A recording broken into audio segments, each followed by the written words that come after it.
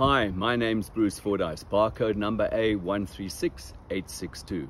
If I had to think of one adjective to describe Parkrun, it would be the adjective happy.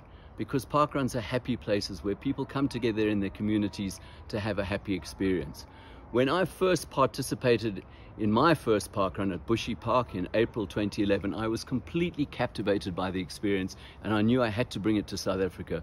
And so we brought it to South Africa so that our communities could be together and could be happy experiencing park runs. Now we want to keep park runs happy and we want to make them even safer than they already are. They're incredibly safe experiences, but we want to make them even safer. And so to do that, we want to roll out defibrillators at every single one of our park runs.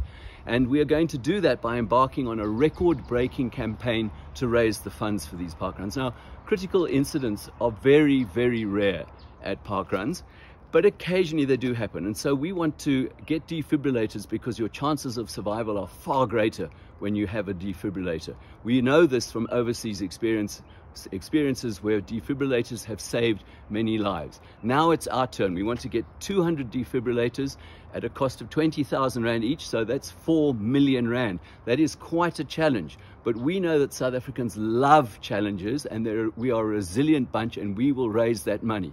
So what can you do? First of all, donate via BackaBuddy. That's our campaign uh, fundraising supporters and then also spread the word as much as possible and then go on social media and spread the word on social media. Come on, let's do it. Let's have a lot of fun and let's make our park runs even safer.